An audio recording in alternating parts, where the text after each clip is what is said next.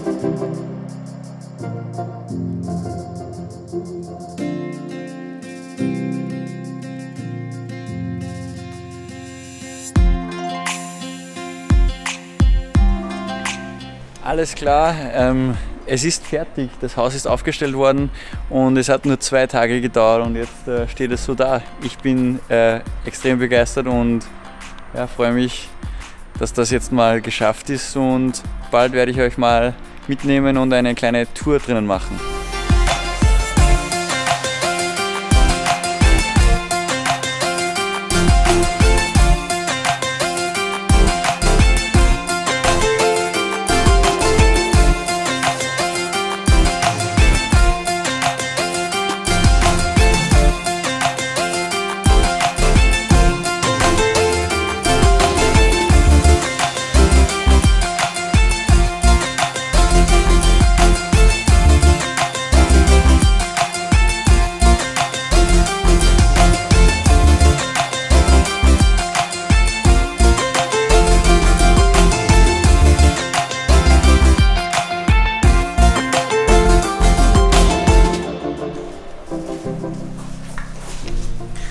Also hier ist die Tour ähm, durchs Haus. Äh, hier ist die Eingangstür.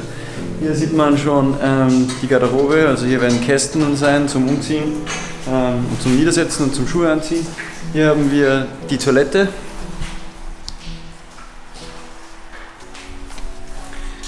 Dann haben wir hier noch, wahrscheinlich werden wir einen Spiegel installieren und so.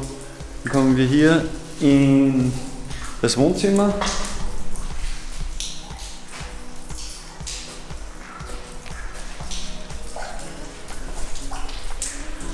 Und Küche und Esszimmer wird hier drinnen sein. Das ist unten sozusagen Erdgeschoss. Hier kommt man aus dem Keller hoch und da geht man nach oben.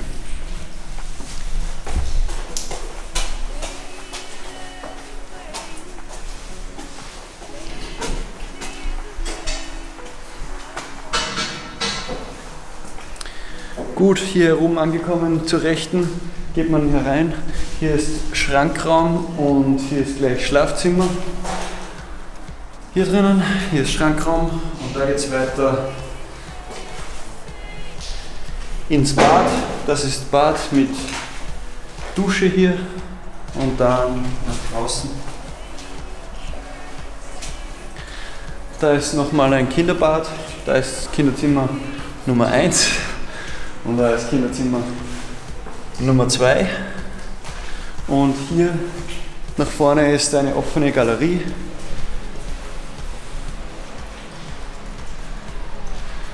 Mit einem anschließenden Raum hier. Und ja, das ist soweit mal die Tour. Ich hoffe, es gefällt euch genauso viel wie mir, denn ich bin ziemlich begeistert da ja bald das Dach draufkommt und die Isolierung oben am Dach äh, gemacht werden soll, ähm, haben wir heute schon ähm, die Kabel durchgezogen. Alle die Kabel, die in die Decken gehen, wie zum Beispiel hier.